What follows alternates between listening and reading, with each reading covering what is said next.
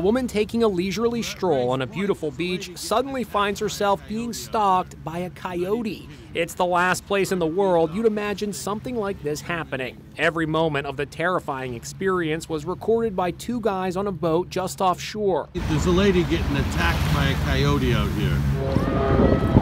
The coyote seemed kind of uh, content that he had cornered me, just kept coming at me.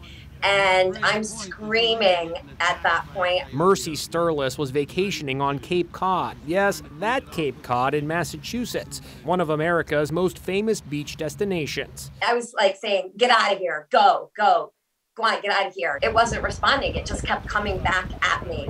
I was terrified. And get this during her 10 minute long ordeal, her boyfriend called her to see how she was enjoying her walk on the beach. Wow, was he surprised! I was like, I need you to look up online what to do about a coyote. The guys in the boat pulled up as close to the beach as they could.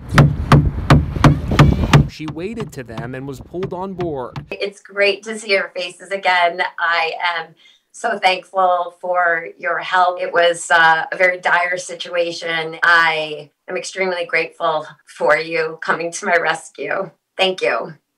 Not a problem.